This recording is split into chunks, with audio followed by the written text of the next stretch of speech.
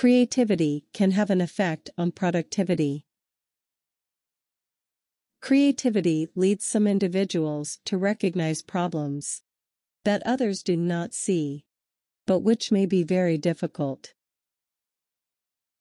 Charles Darwin's approach to the speciation problem is a good example of this. He chose a very difficult and tangled problem, speciation, which led him into a long period of data collection and deliberation.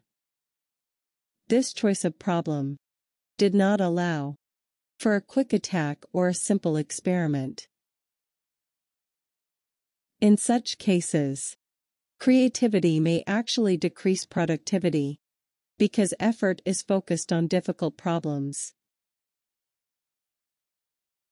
For others, whose creativity is more focused on methods and technique, creativity may lead to solutions that drastically reduce the work necessary to solve a problem.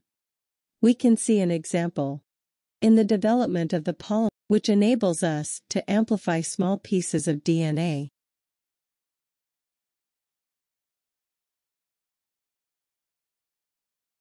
This type of creativity might reduce the number of steps or substitute steps that are less likely to fail, thus increasing productivity.